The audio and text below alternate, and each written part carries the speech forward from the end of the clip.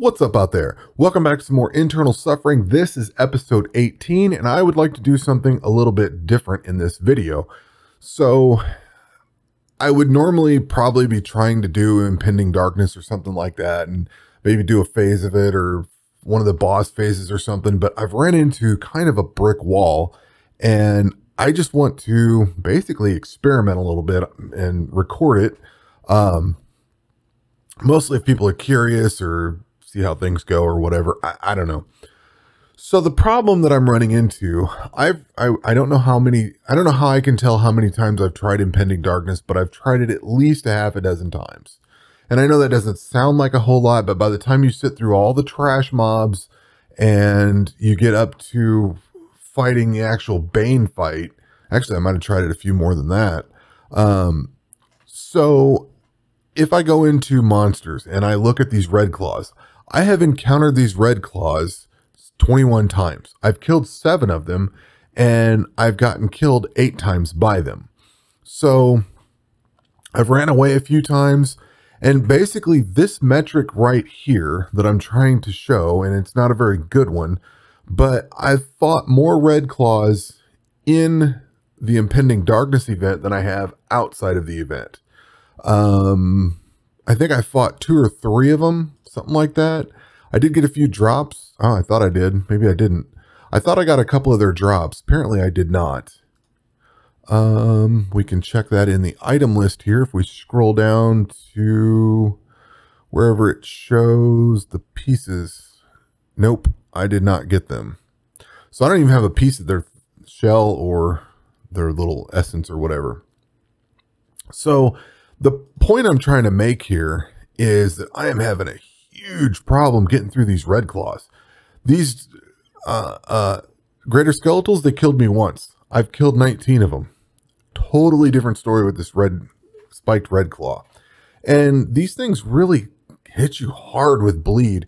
Now, I haven't found any armor that can idle either one of these two, and I have to basically sit through the fight, and it takes you pretty much a whole day or two's worth of grinding to get their items out. And I don't want to sit there for 24 hours or 48 hours trying to um, manually fight those things. And there's nothing I can do to actually get better gear because I've already got the best gear that I can. Which is where the problem comes in. So I thought, let's do some experimenting. Um, I have actually made it through phase two. I have the Shield of Ranged Power. So you, if you're unfamiliar with the Impending Darkness event, um, once you start this event, you pick some negative modifiers, and then it basically takes you through these four areas. And the it's recommended that you do the Unhallowed Wasteland first, then you do Dark Waters, then you do Perilous Peaks, and then Shrouded Badlands. Cool. That's how you're supposed to. Uh, I'm sorry. Unhallowed Wasteland, Dark Waters, Shrouded Badlands, and then Perilous Peaks. Uh, for some reason, if you ended at, at Perilous Peaks, it's better for the Bane fight. I don't know. It's what it's in the wiki, so that's what I've done. Um, the the killer is that you have to get through all of this. Now, I can idle Lagaran worms and cursed liches, no problem. And the greater skeletals, I can almost idle, no problem. Um, you have to do what I'm calling pump the brakes, is basically just tap on the on the food thing every once in a while. I don't really have to hold it, but these spiked red claws, I, I've actually manually ate through it and still died. Like once you build up enough stacks, these things just slaughter you. And if you get one as the boss for that for this unhallowed wasteland, it just it's it's a it just doesn't go anywhere. The fight doesn't go anywhere. Um, I did go through and beat. I think I got killed the first time I tried this in the unhallowed wasteland. Uh, I think the second time I tried it, I actually got through, so I got my shield of melee power, and then I died again when I was trying to go through phase two. I died to a red claw. And then I tried it again, died to a red claw. I tried it a few times the other day and I kept dying to red claws. Like it just wasn't letting me through. And then I did get through phase two eventually and killed Bane and everything was cool. And I got that shield of ranged power. But then I died to a red claw right out of the gate. Now, if you go into this, if you get into this area, I think there's what, five or eight different things that come along in here if most of those are red claws or two or three of them are red claws, you're just going to get demolished. And I just, I haven't found a good way. Long story to say that what I've been doing is running protect item, and protect melee. And what that does is it lowers their chance to hit you to 20% and it prevents me from losing an item because I don't want to lose the title edge it took a while to work for. I could lose the melee thing, but the elemental zodiac, Fury of the elemental zodiacs, I don't want to grind that out again either, you know?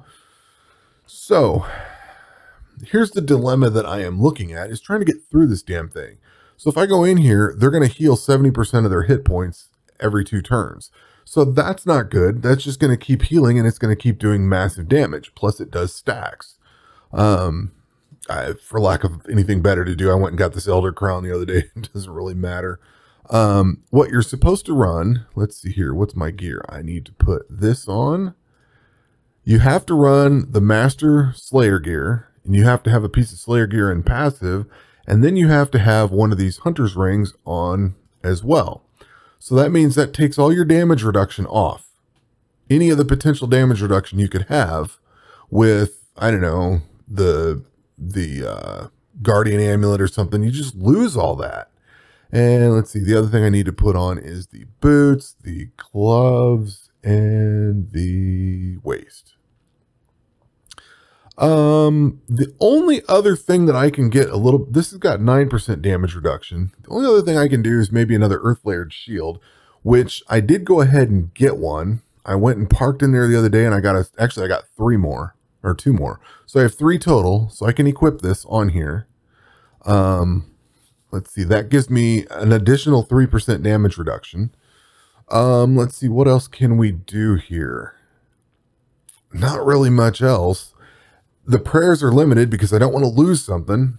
You know, the, these things take time to grind out and I don't want to lose them. And I can't really change any of this gear out because it just screws me otherwise. So let's see if we can fight this thing. And actually, I'm I'm doing the wrong fight. I'm doing the wrong fight because I need this to be ranged going up against that. Um, which has the poison virulence gloves. We're all set for this. The one thing I did notice that I wasn't thinking about this impending darkness event is a dungeon, technically, I guess, but it goes into Slayer areas. And I'm assuming the Slayer crossbow does more damage in the Slayer areas, so I've been using that instead. Uh, so let's see here. This is supposed to give the enemy a reduced damage reduction, uh, a little bit more maximum hit, and a little bit range critical. Uh, let's see. Our, let's just look at the fight as this. This is going to be ranged gear versus this thing. So I have 41,600 and this is already 43,660. Because of that bleed, and this is where I'm pumping the brakes. I'm just basically tapping the health to get a little bit because your attack interval is pretty decent, pretty well. If it's 0.25, if you're not slowed, it's a quarter second. So you don't really have much time but I don't want to hold the heal and manually heal the whole time unless I really get down there. Um, just for the simple fact that it let it, it means I'm attacking less often, if that makes sense. So if I'm doing what I'm calling pumping the brakes, it's putting some healing in there and keeping me healed. Now see, I'm not building up stacks. But this is 43,000 and I can, so there I've actually killed one. But like I can't idle this. You know what I mean? And I'm not getting the stacks built up because it's not the impending darkness event. So there's no way of keeping those stacks off. All right, so we'll run from that thing. So let's try switching out. Um, this is a melee fight. Let me sort that again because I lost something. So let's equip a little bit of melee gear. I don't want to take those away. I know this seems counterintuitive probably, but let's put some melee on here because this gives you melee defense. Now, I don't know how much that's going to make a difference. It's probably just to its percent to hit or something like that. But we'll try that out and see what how it goes. Um, what I'm looking for is 37,000. Yeah, 43.6. So it's still 43.6. Let's throw on the Earth Layered Shield. Like, this thing here is my big stopping point. I cannot get around this. Like, it's just not getting around. It just, it's just not happening for me. And I don't necessarily want to idle this. That's 32.9. What happens if we get poison or uh, bleeding?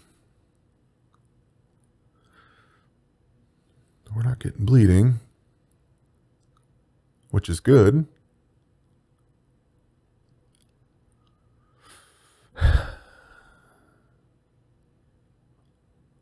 Oh, that's 38. So that's that's actually I might be able to idle this with this.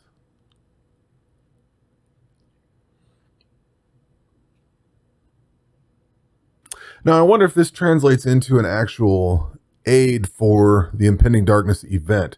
If I could idle like this, I probably would.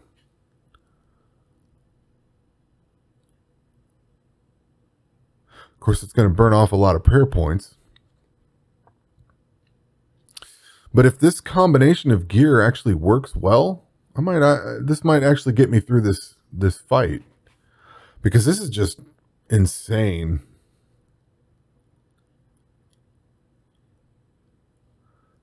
Uh, do, do, do, If you're bleeding, this attack deals 18,000 additional damage. Which I am bleeding.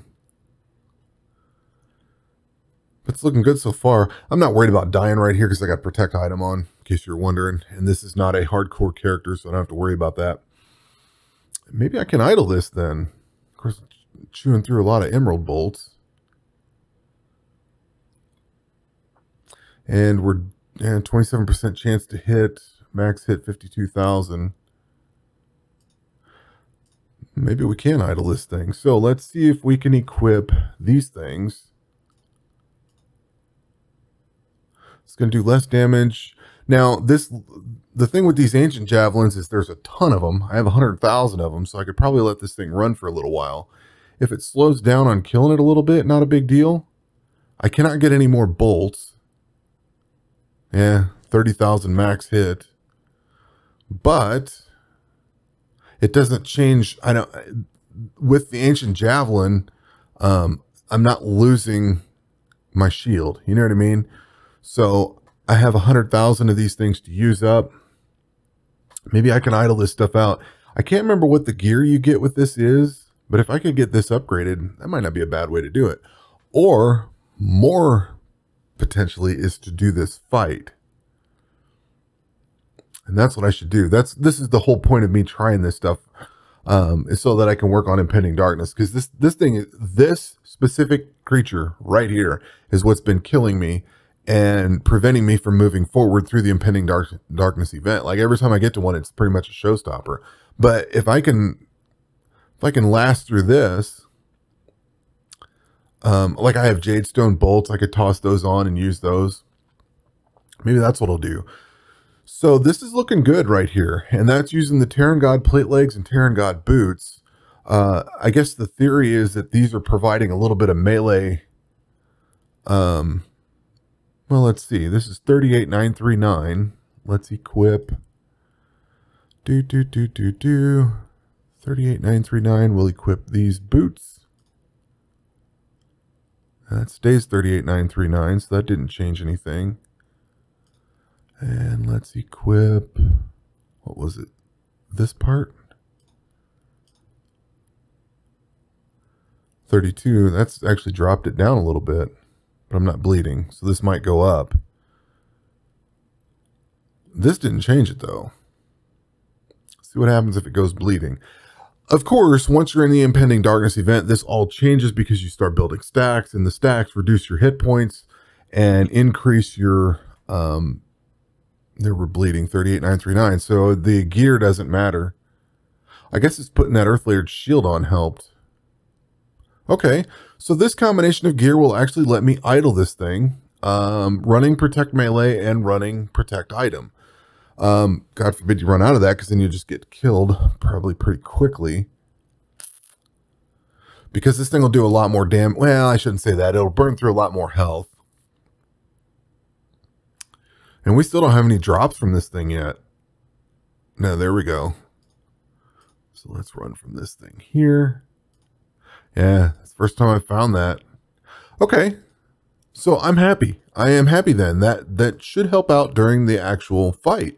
Um, this combination of of gear Eris God boot, plate legs and Eris boots, that's fine. It's just the earth layered shield's what I needed to make this really help out, I guess. Hmm. Have to see how it goes in the actual fight. Let's see if we can do the greater skeletals, because this is... Yeah, these things will be easy to idle. They're not building stacks up. Yeah. This is doable now. The question is, do I want to go through and grind out all this and get this gear? And that I don't know the answer to just yet. Um, I'm going to try the impending darkness event again after this little bit of testing. And like I said, the darkness event itself is different. It's got stacks and everything. So those that might change this dynamic quite a bit. Um, really, the only thing I've changed is the earth layered shield. But like I said, I wanted to try this out and see how things go. And at least we've kind of looked at how this runs. I don't know, for whatever it's worth.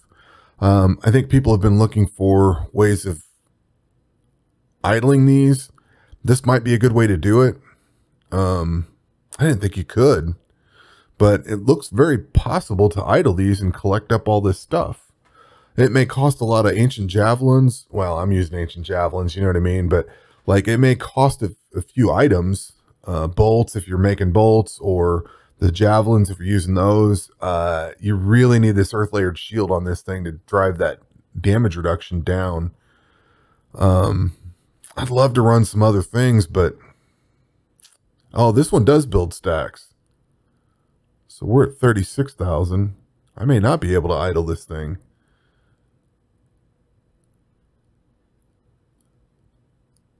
Yeah. I don't, does this have any kind of stun? It's that whip. Yeah. Yeah, lasts till the end of the fight. So faster you kill these things, the better. All right. That'll... I may look at the red claws because that gives you bleeding. And bleeding on all the stuff in the impending darkness event would be cool to have. But I may not bother with it. I'm not sure. We'll have to think about that. So I don't know if any of this was any value to anybody, but a little bit of testing on the red claws because those are what's really just been kicking my ass. So at any rate, that will do it for this one. We will catch you on the next one, and hopefully I'll have some better news with the impending darkness event after this little bit of testing. Take care.